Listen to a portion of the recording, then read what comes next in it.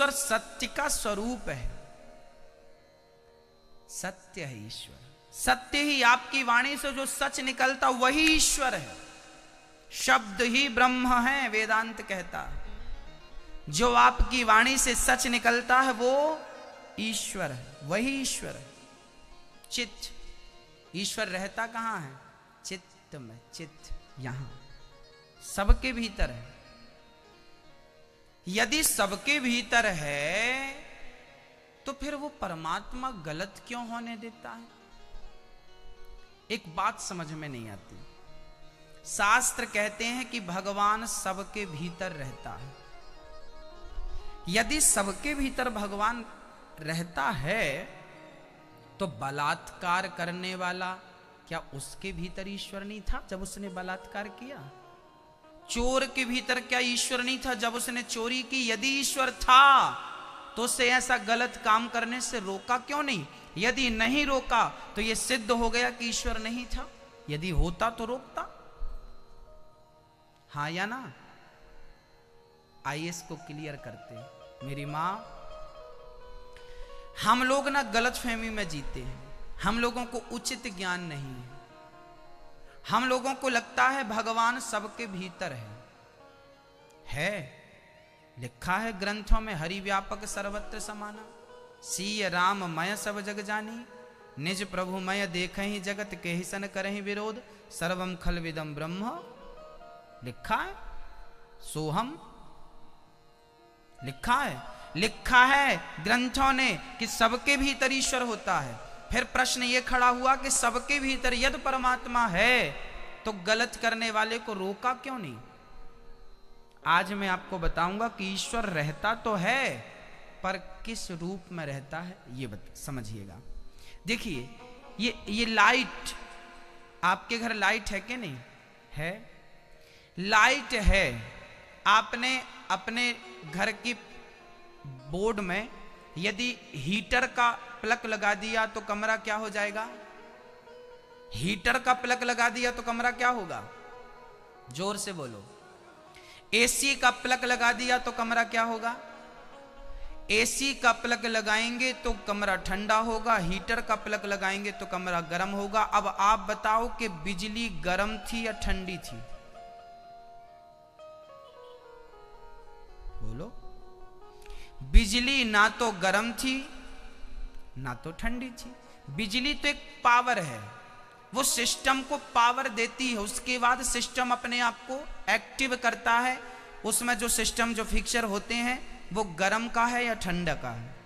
बिजली गर्म नहीं होती, ठंडी नहीं होती। वो केवल पावर दे सकती है। उसके बाद हीटर का प्लग लगाना, कि एसी का प्लग लगाना, वो मर्ज़ी आपकी है।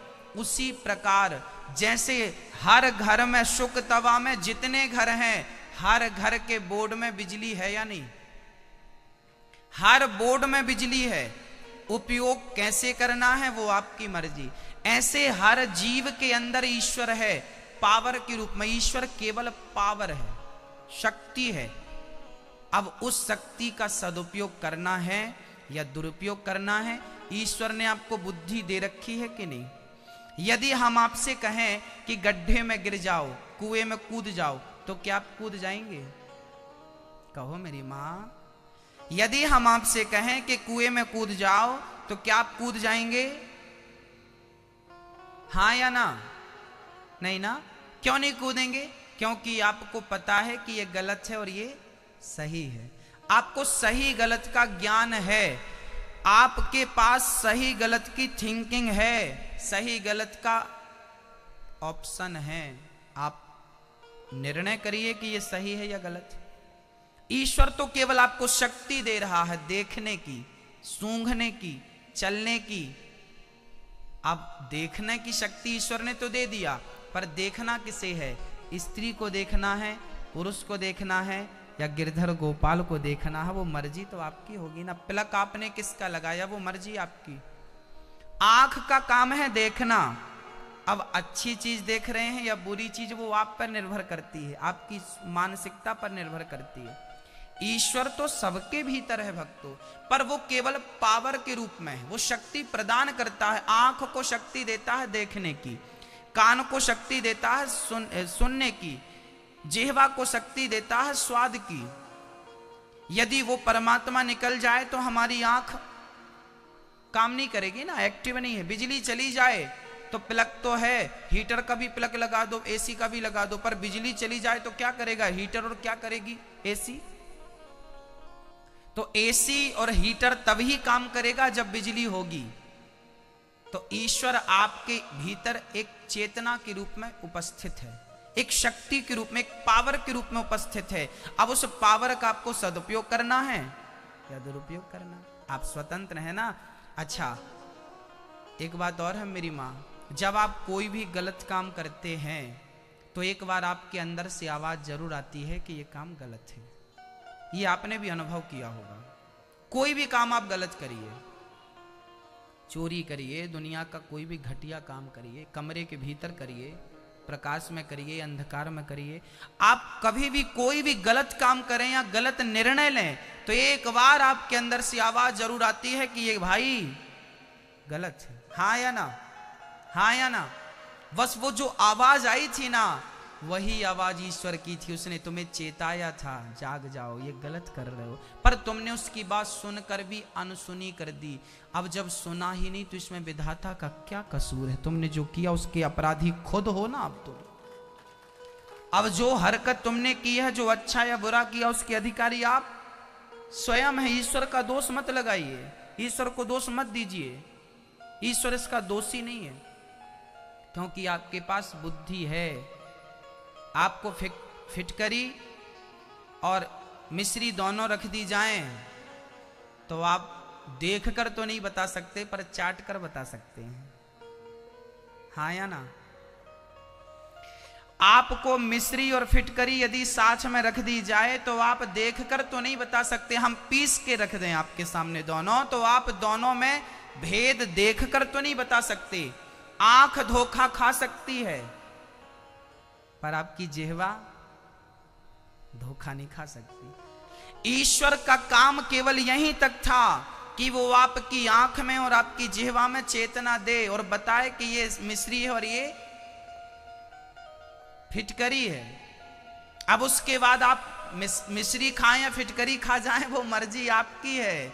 ईश्वर ने बताया तो था कि ये गलत है, फिर भी तुमने किया। अब इसका दोषी कौन है? दुर्योधन ने महाभारत की तैयारी कर ली। मैं लड़ूँगा। तब भगवान श्री कृष्ण समझाने गए थे कि नहीं। शांति दूत बनकर, दुर्योधन, गलत है ये। मत कर युद्ध, सर्वनाश हो जाएगा। पांडवों को पाँच गाँव रहने के दे दे। ज़्यादा मत दे। सुई की नौक बराबर नहीं दूँगा कन्हैया। इतनी से नहीं दूँगा मैं, ऐसा दुर्योधन ने कहा था।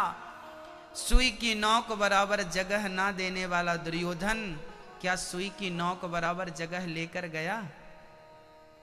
मरते हो सुई की नौक बराबर जगह के लिए। पड़ी, तुम्हारे बाप दादे भी नहीं लेके गए, तुम भी नहीं लेके जाओगे। पर मरते हो, लड़ते हो। हाँ ईश्वर ने समझाया था दुर्योधन को, माना नहीं नहीं माना तो सर्वनाश हुआ, मान लेता। तो सर्वनाश से बच जाता। जो तुम्हारे भीतर की आवाज़ है मेरी माँ, वही ईश्वर की आवाज़, उसे पहचानना सीखिए। वही परमात्मा की चेतावनी है, ये गलत है और ये सही है। वो सुन के मनन करिए। गंभीरता से लीजिए, ईश्वर की आवाज़। ईश्वर डायरेक्ट नहीं बोलता, इनडायरेक्ट बोलता है। आपके भीतर ही बोल देता है, वो आपसे ही बोल देता है। और वो आवाज़ केवल आप ही सुनते हैं, बाजू वाला नहीं सुनेगा। आपके बाजू में कोई बैठा हो तो वो नहीं सुनेगा। हाँ या ना? सही है ना मेरी माँ? हाँ ना? हाँ। ईश्वर का स्वरूप क्या है? सत्य। हमें कौन सा मार्ग अपनाना है? सत्य। कहाँ रहता है भगवान? सत्य में रहता। चित ईश्वर सर्वत्र है, हम सबके भीतर बैठा है। किसके भीतर बैठा है? बोले, जिसके भीतर सत्य बैठा, उसके भीतर ईश्वर बैठा। जिसके भीतर सत्य की जगह नहीं, उसके भीतर ईश्वर का कोई काम नहीं।